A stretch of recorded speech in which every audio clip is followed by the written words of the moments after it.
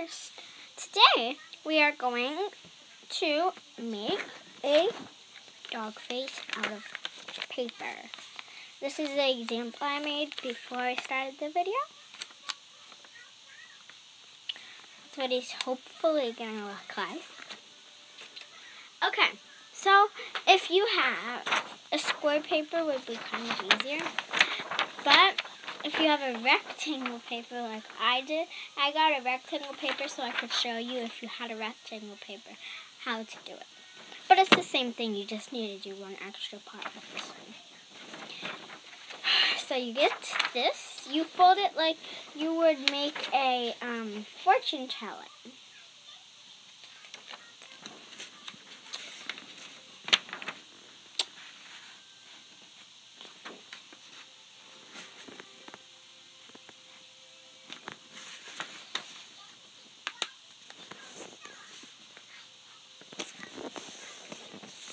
Make sure you fold it straight to the straight tippy top corner and make sure straight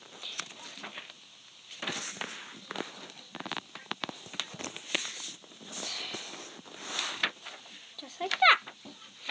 And then see how we X that whole extra part? We're going to get the scissors and cut it off.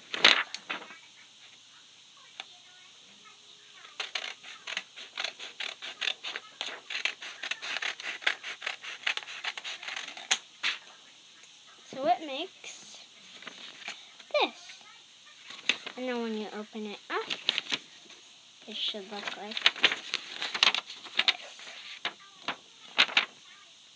Okay?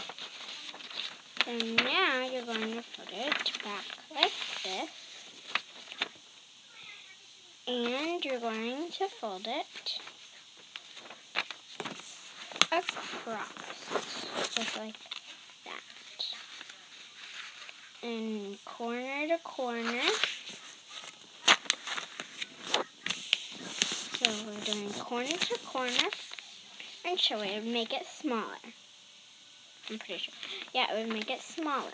See how it's big? Now it has two parts. Now we get we get the two. You get this part right here and you get like this. So a little bit is like showing out. So that's one of the ears. Then you do the same with the next ear. And then you got the ears done.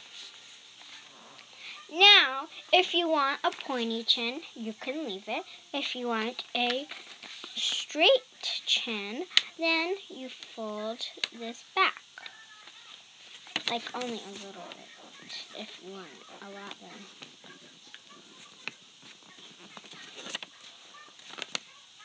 So like that.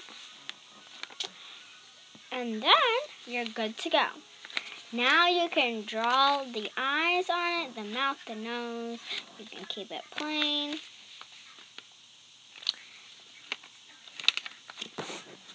And this will be the end of my channel.